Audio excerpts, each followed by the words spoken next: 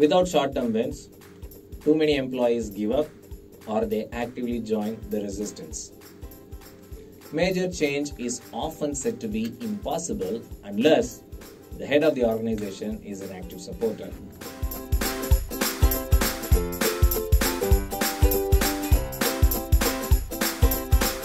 In this video, uh, we will be looking at the summary of the book uh, Leading Change by John P. Kotter.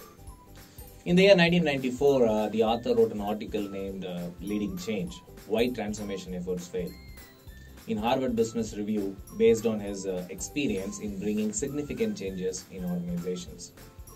The article became a great hit instantly. People did accept the mistakes that organizations make in the article and the helpfulness of the eight stage change framework. That became the baseline for this book.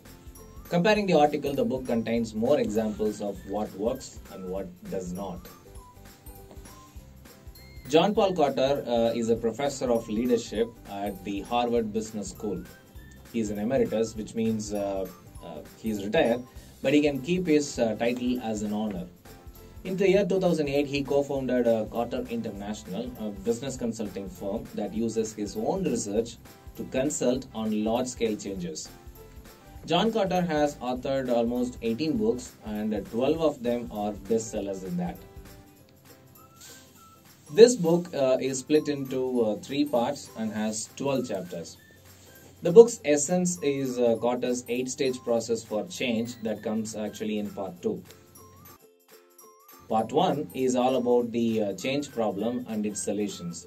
He talks about eight common mistakes organizations make while uh, working on change initiatives and also its consequences.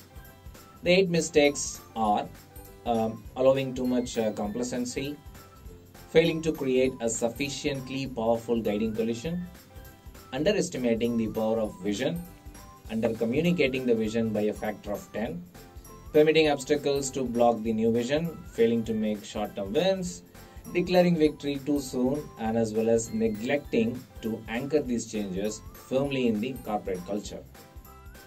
The uh, consequences because of these mistakes are New strategies are not implemented well.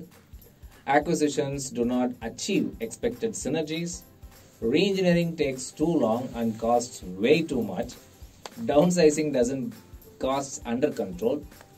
Quality programs does not deliver the hoped for results. In part 2, the author explains the uh, eight stage process in very much detail. So, what is the so called uh, eight stage process that uh, successfully implements change? Let's see. Establishing a sense of urgency, creating the uh, guiding coalition, developing a vision and as well as strategy, communicating the uh, change vision, empowering a broad based action, uh, generating short term wins, and uh, consolidating uh, gains and producing uh, more change. The last, anchoring new approaches in the culture.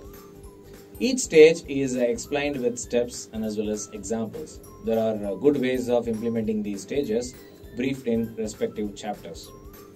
Part 3 has details about the 20th century and as well as the 21st century organizations and uh, compares these two. The author offers information about uh, individuals and organizational leadership and lifelong learning habits of them. John Kotter's legendary eight step process for uh, managing change has become the foundation for leaders and organizations all over the globe. One can avoid mistakes during uh, change initiatives by actually going through this book. Some quotes which I personally like from this book. Without short term wins, too many employees give up or they actively join the resistance.